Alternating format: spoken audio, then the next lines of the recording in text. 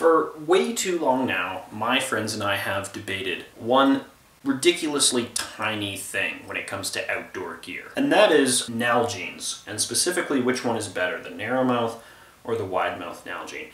And given how long this debate has gone on for and how serious it has gotten, I figure it's about time we put an end to it. Hello everybody, my name is The Outdoorsy Dude, and today we'll be finally burying the hatchet on the long fought out Nalgene debate.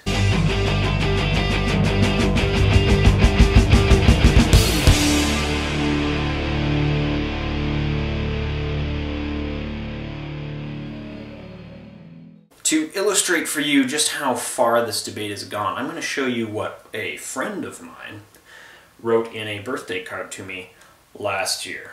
We open it up, it says, Dearest Squilliam. Uh, now my name's William, so seems like he's already insulting me. With this moolah, perhaps you will grow a brain and buy a wide-mouth Nalgene instead of that sad excuse for a water bottle that you have now. Or just buy something else. Signed, Wide Mouther number one. So we're talking about which Nalgene is the better water bottle. That's what we're talking about. So today I'll be debunking some myths that support the wide mouth bottle, and I'll be stating some facts that are true of both the narrow mouth and the wide mouth, and I'll let you make your own decision. Now the first thing I always hear in support of the wide mouth bottle is that it's easier to clean. And I don't really need to say much for this one, except that Nalgene's can go in the dishwasher. Sure, it's easier to get a brush into a wide mouth Nalgene, it's easier to get a cloth in there, stick your hand maybe all the way in if you have a really small wrist. But the thing is, you shouldn't need to.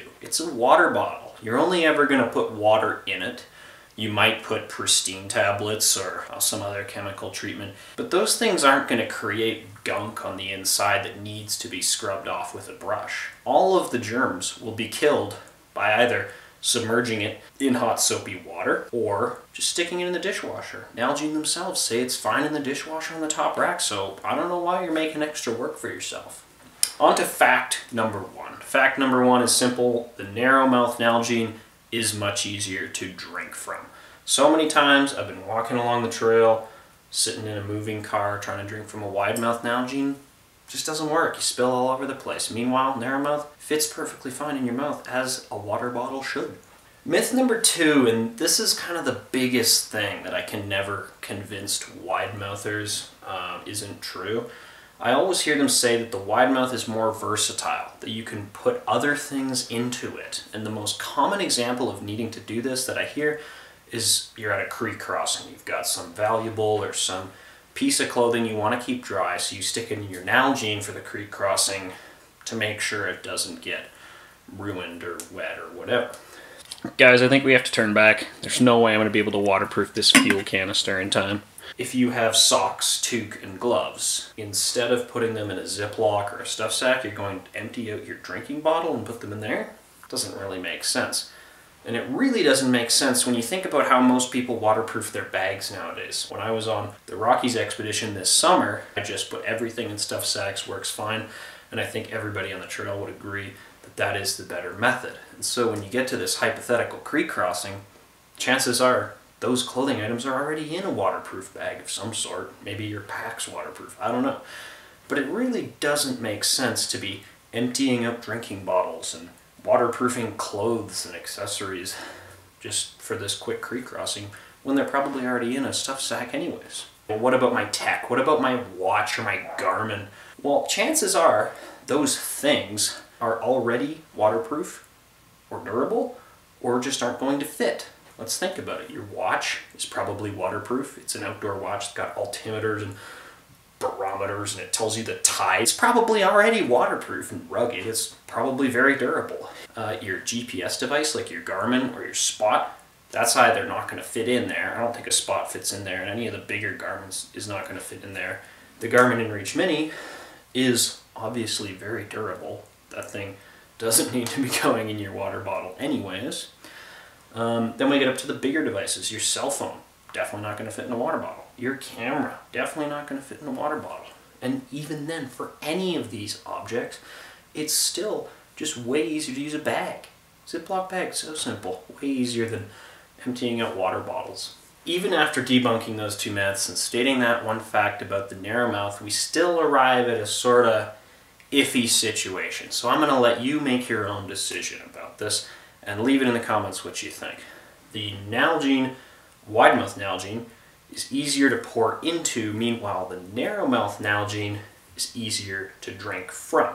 But the thing is, most people don't need to be pouring into their water bottle. When I've grabbed water in the backcountry, it's 99% of the time out of a creek. I just stick the water bottle right in there, fills up no problem, pristine it. If I'm using a filter, uh, the filter that I use has a um, waterproof stuff sack that you fill up, hang up 10 liters, and then it's a cord that hangs down and just sits in the opening of your water bottle. Again, no pouring required. Uh, the only situation that I can think of where pouring is necessary is if you have water in a pot that you need to transfer into a water bottle.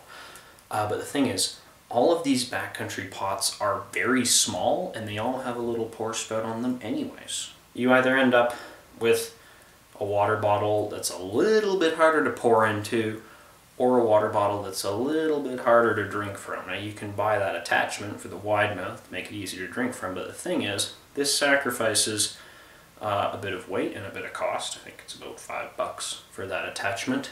Uh, but the unfortunate truth is that this whole debate has been kind of a waste of time.